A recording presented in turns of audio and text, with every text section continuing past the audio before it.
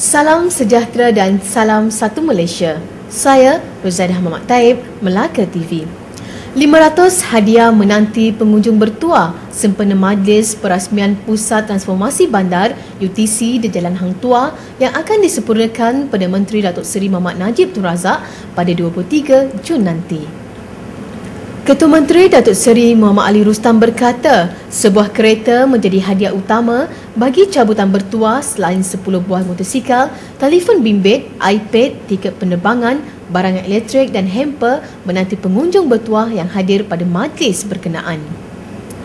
Di samping itu kita juga ada hadiah jabatan nombor bertuah. Ada juga yang seronok lah kerana negeri negara makin bangun boleh dapat hadiah hamper ya. boleh dapat hadiah motosikal boleh dapat hadiah kereta.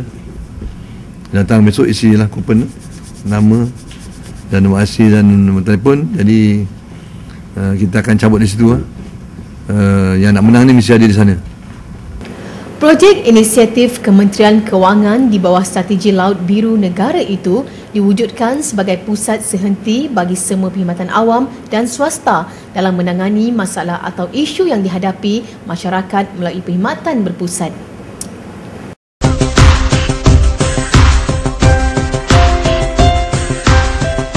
Berita selanjutnya.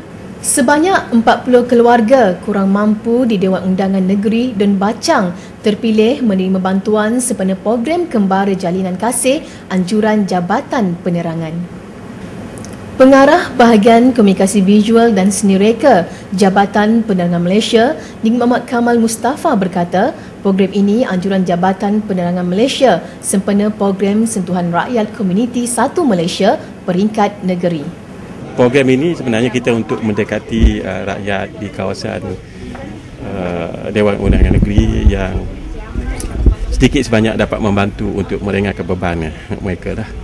Uh, sumbangan-sumbangan yang kita beri ini sumbangan produk satu Malaysia yang dikumpul oleh jabatan dan kita agihlah kepada yang terpilih sahaja Program tersebut antara lainnya bertujuan merapatkan hubungan antara rakyat bersama pemimpin setempat di samping mempromosi dan menjelaskan dasar-dasar kerajaan kepada komuniti setempat.